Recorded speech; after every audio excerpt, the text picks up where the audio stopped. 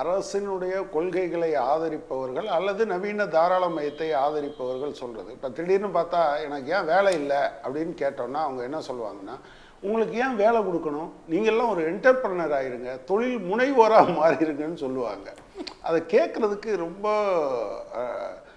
ரொம்ப இனிமையாக இருக்கும்னு வச்சுக்கோங்க. இந்த கண்ணதாசன் படத்தில் சொல்கிற பாடலில் சொல்கிறது மாதிரி உனக்கும் கீழே உள்ளவர் கோடி நினைத்து பார்த்து நிம்மதி நாடுன்னு சொல்கிறாரு அப்புறம் எதுக்கு இந்த வல்லரசு தம்பட்டம்லாம் அடிச்சுக்கிட்டு அலையணும்?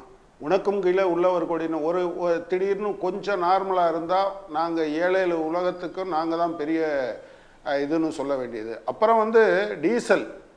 பெட்ரோல் விலை இங்கே அவர் சொன்ன பாகிஸ்தானில் என்ன விலை? பர்மாவில் என்ன விலை?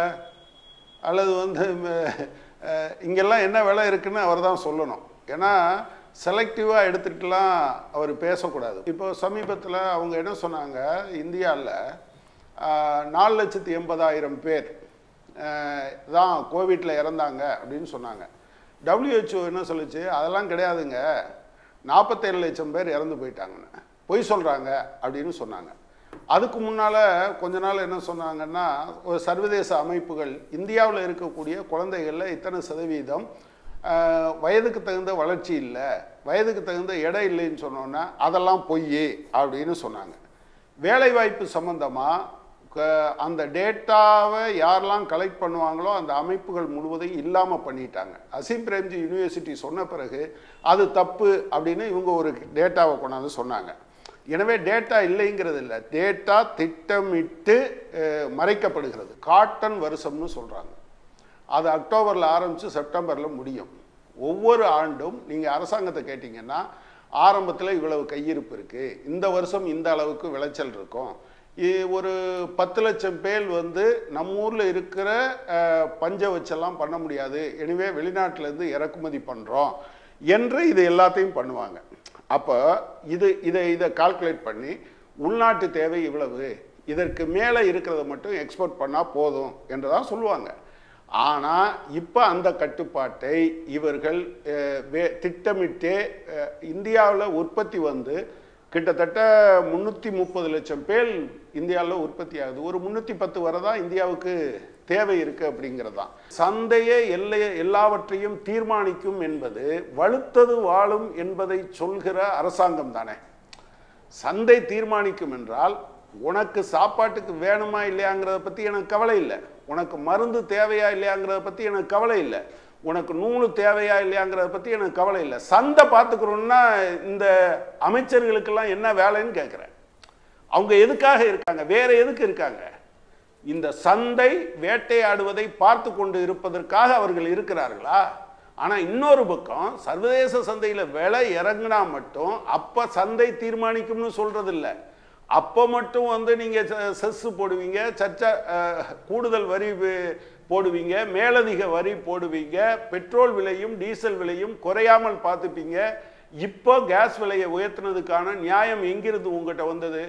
ஒரு புழுகுனீங்க ஒரு ஒரு ஒரு எந்த விதமான ஆட்களை வச்சுருக்காங்கன்னு பாருங்கள் இந்த வலதுசாரிகள் என்ன சொல்கிறாங்கன்னா கேஸ் விலையில் ஜிஎஸ்டி கேஸ் விலையில் தமிழ்நாடு அரசாங்கம் போடுற வரி தான் நானூற்றி முப்பது ரூபாய்னு ஒருத்தர் எழுதியிருக்காரு இன்னொருத்தர் இல்லை இல்லை இரநூத்தி முப்பது ரூபாய்னு எழுதியிருக்காரு. அது ஜிஎஸ்டியில் இருக்குன்னு கூட இவங்களுக்கு தெரிய மாட்டேன்னுது. இந்தியாவில் போதுமான காட்டன் இருக்கா இல்லையா? நம்பர் ஒன் காட்டன் இருந்ததுன்னா ஏன் இப்போ நமக்கு கிடைக்கல? நம்பர் ரெண்டு. மூணாவது ஜிஎஸ்டி வந்த பிறகு நீங்கள் வந்து எங்கே இருந்தாலும் கண்டுபிடிச்சிருவேன்னு சொல்கிறீங்கல்ல இப்போ ஏன் உங்களால் கண்டுபிடிக்க முடியலை? நாலாவது விஷயம் கண்டுபிடிக்க முடியும் அவர் பிரதீப் சாருக்கு தெரியாமல் எப்படி இருக்கும்? அதான் நான் ஏற்கனவே சொன்னேன். நீங்கள் ஒரு பிஸ்னஸில் இருக்கிறவங்கள எனக்கு தெரிஞ்சு இந்தியாவில் ராகுல் பஜாஜ் மாதிரியான ஒருத்தரை தவிர அநேகமாக பெருசாக இந்த காலத்தில் வெளியே வந்து பேசுறதில்ல. பேசுனா அரசினுடைய அமைப்புகளை ஏவல் நாயாக ஏவி விட்டு குதர்றாங்கங்கிறதுனால அவங்கெல்லாம் வ- வெளிப்படையாக வந்து சொல்வதற்கு தயாராக இல்லை.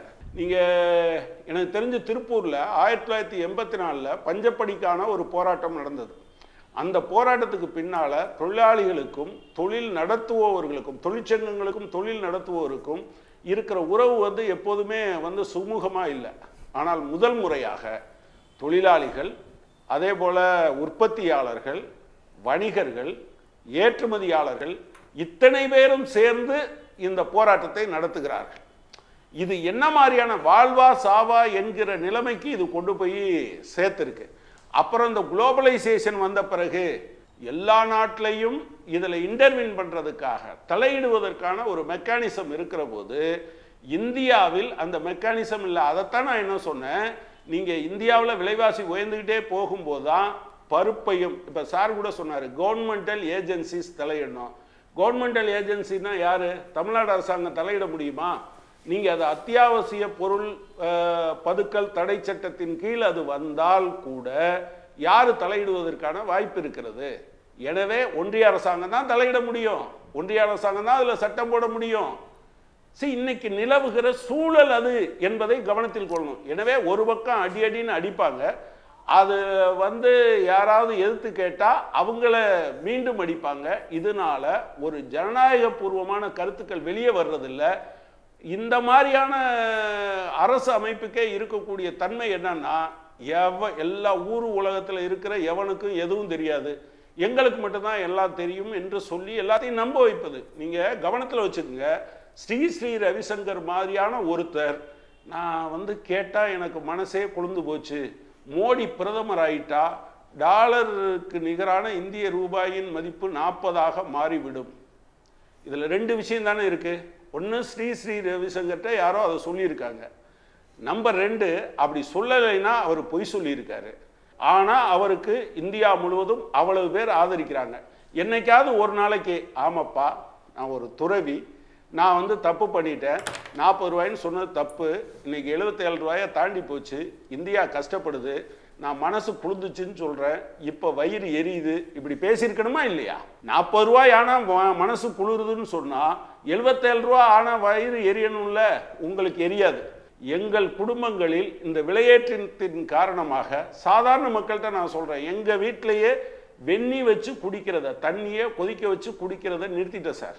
இது என்ன விளைவை ஏற்படுத்தணும்னு அன்றைக்கி ஒரு டாக்டர் என்கிட்ட சொன்னார். அப்புறம் நீ வந்து கேஸுக்கு செலவழிக்கலைன்னு சொல்லிட்டு மருத்துவத்துக்கு செலவழிப்பாயின்னு சொன்னார். அடுப்பில் கேஸ் எரியறதுக்கு பதிலாக வயிற்றை எரிய விடுகிற அரசாங்கமாக இது இருக்கிறது. எண்ணெய் விலை எத்தனை சதவீதம் உயர்ந்திருக்கு? நீங்கள் இது எல்லாத்துக்கும் இந்த அரசினுடைய கொள்கைகளுக்கு இப்போ நாங்கள் சொன்னால் சார் கூட சொன்னார் தொழிலாளிகளை பற்றி மட்டும் பேசுகிறார் நான் தொழிலாளிகளை பற்றி பேசலை. தொழில் இருந்தால் தான் சார் தொழிலாளி இருப்பார். நான் அதை வந்து அதில் வெறும் நீங்கள் பணம் காசு லாபம் நட்டம் என்று பார்க்காதீர்கள். இருபத்தைந்து லட்சம் குடும்பங்களோட வாழ்வாதாரமும் இதோடு சேர்ந்து இருக்கிறது வேலை வாய்ப்பு இல்லாத சமயத்தில் வேலை வாய்ப்பை தருகிற ஒரு விஷயத்தை இப்படி கையிலேருந்து பிடுங்குறீங்களே என்கிற வைத்தறிச்சல்லேருந்து தான் பேசுகிறேன் இந்த இந்த ஒரு விஷயம் வந்துக்கிட்டே இருக்குது நீங்கள் தமிழ்நாட்டில் விவசாயம் பொய்த்து போன கிராமங்களில் இருந்து ஒரு பைய தூக்கிட்டு ஏதாவது ஒரு வகையில் நீங்கள் என்னைக்காவது மாட்டுத்தாவணியில் நீங்கள் வந்து போய் இரவு நேரங்களில் போய் பாருங்கள் ஞாயிற்றுக்கிழமை இரவுகளில் பஸ்ஸில் நின்றுக்கிட்டே போவாங்க.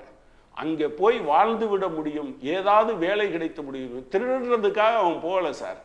டேக்ஸு ஏமாற்றி பிழைக்கிறதுக்காக வரியை ஏமாற்றி பிழைக்கிறதுக்காக அவன் போகலை சார். ஃபோர்கான் ரெவன்யூஸ் வேணும்னு போகலை சார். ஸ்டிமுலஸ் பேக்கேஜ்னு முதலாளிகளுக்கு கொடுக்கறத கேட்டு அவன் போகலை சார். அதானி மாதிரி ஒரு ஒரு நாளைக்கு ஆயிரத்தி ரெண்டு கோடி ரூபா சொத்து மதிப்பு உயரணும் போகல சார். வயிறை கழுவுறதுக்கு ஒரு வேலை கிடைக்கணும்னு திருப்பூருக்கு போனான் சார். அதில் தீ வச்சிருக்கு சார் அரசாங்கம். அந்த தீய உண்மையிலேயே உணர வேண்டிய அரசு நான் தலையிட மாட்டேன் என்று சொல்வது இருபத்தஞ்சு லட்சம் பேர் அந்த தொழிலை நடத்துகிறவர்கள் வியாபாரம் செய்கிறவர்கள் விவசாயிகள் அத்தனை பேரும் கிடக்கட்டும்னு போட்டிருக்காங்க. சரி இவ்வளவு நடந்திருக்கே பஞ்சு விவசாயிகளுக்கு பருத்தி விவசாயிகளுக்கு உரிய நிவாரணம் கிடைச்சிருக்கா? கிடையாது. தமிழ்நாட்டை பொறுத்தவரை அஞ்சுலேருந்து ஆறு சதவீதம். நான் இதை மட்டும் சொல்ல அஞ்சுலேருந்து ஆறு சதவீதம் தான் தமிழ்நாட்டில் உற்பத்தி. மெஜாரிட்டி உற்பத்தி பண்ணுறவங்க மகாராஷ்டிரா உற்பத்தி பண்ணுறாங்க மத்திய பிரதேசம் உற்பத்தி பண்ணுறாங்க தெலுங்கானா உற்பத்தி பண்ணுறாங்க அங்கேருந்து தான் வாங்கிட்டு வரோம். பதுக்கல் இருக்கிறது என்று பொதுவாக பிஸ்னஸ் பீப்புள் என்ன சொல்ல மாட்டாங்கன்னா இந்த இடத்துல இருக்குன்னு நேம் எல்லாம் சொல்ல மாட்டாங்க. ஆனால் அதையும் மீறி அது ஒரு பிஸ்னஸ் பாடி என்கிற முறையில் அவங்க சொல்கிறாரு அது எவ்வளவு நெருக்கடி இருந்தால் அதை சொல்லியிருப்பாங்க. ஆனால் இன்னைக்கு வரைக்கும் அரசு ஏன் இப்போ உடனடியாக அதை வந்து அத்தியாவசிய பொருள் பதுக்கல் தடை சட்டத்தின் கீழ் அது கொண்டு வரப்படுகிறதுன்னு சொன்னால் உங்களுக்கு என்ன கெட்டு போயிடும்